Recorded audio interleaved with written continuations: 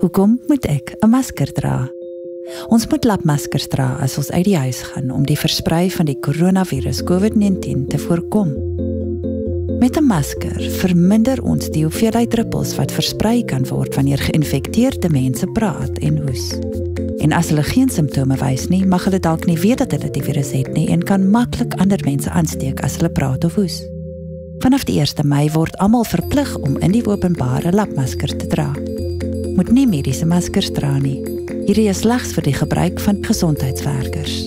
Hande was en sosiale distansiering is nog steeds die beste maniere om COVID-19 te voorkom. Dra altyd 'n masker as jy in die openbaar is. Hoe om 'n lapmasker te dra? Die masker moet die hele mond en neus bedek.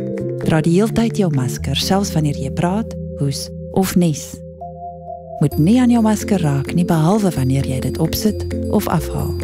Moet nie aan jou oë, mond of neus raak nie. Was jou hande voordat jy jou masker opsit of afhaal. Was jou lapmaskers met warm seepwater en stryk dit wanneer dit droog is. Jy sal minstens 2 maskers nodig hê sodat jy altyd een het wanneer een gewas word.